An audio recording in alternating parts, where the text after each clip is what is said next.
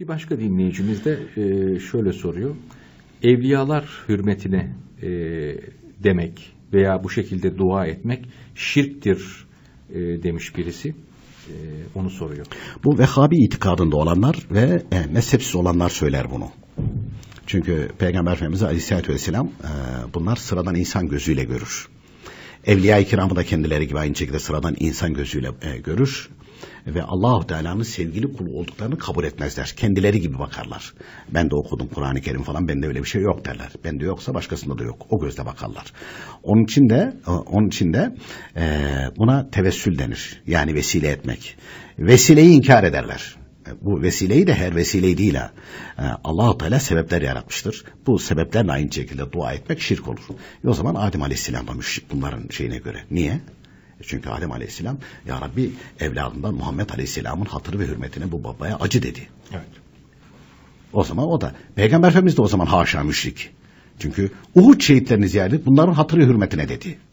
Ümmetimin fakirleri fakirleri ve iyileri hatırı ve hürmetine dedi. O zaman demek ki Peygamber Efendimiz de müşrik. Eshab-ı kiram da Peygamber Efendimiz'i vesile edip dua ediyorlar. Demek onlar da müşrik. E asırlardır bütün Müslümanlar aynı şekilde vesile ederek hepsi müşrik. Bir bunlar Müslüman. Bir bunlar Müslüman. Bir bunlar Müslüman. Bu ne mene bir şey. Ve kendi sözleri de kendileri aynı şekilde e, çelişkiye düşüyorlar.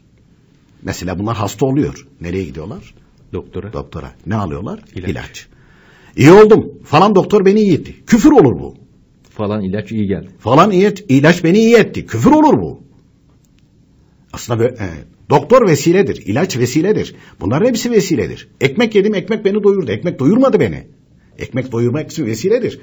İşte e, bulut geldi yağmur yağdırdı bulut. Bulut yağmur yağdırmadı. Bulut yağmur için vesiledir. Yağdıran allah Teala öyle olmuş olsa bütün bulutlar yağmur bırakırdı. Ya Allah e, topraktan işte ben ektim şöyle oldu falan.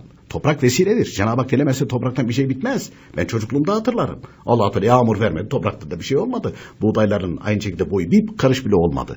Dört tane öküzümüz vardı. ikisini yok pahasına sattıydık. İyi hatırlarım ben. Çocukluğumda oldu çünkü bunlar.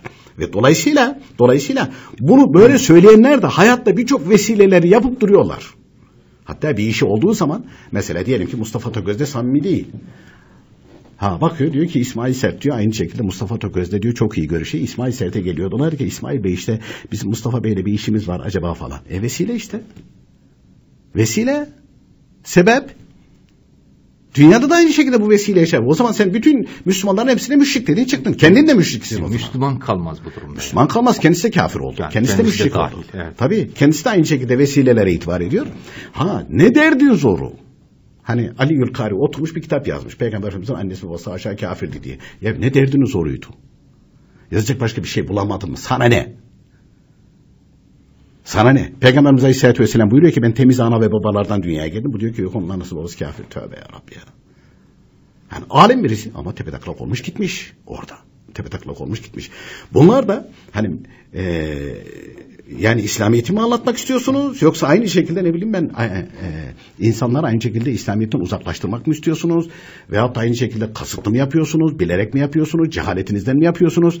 Hani birazcık mürekkep yalamışsa o zaman perde gerisine bakıyorsun. Ha bir yerlerin aynı şekilde uşağı olduğu çıkıyor bazılarının. Bazıları cahil olduğundan ve o e, girdaba kapılmıştır öyle söylüyor. Bazıları da hainliğine söylüyor bunu. Hainliğine söylüyor.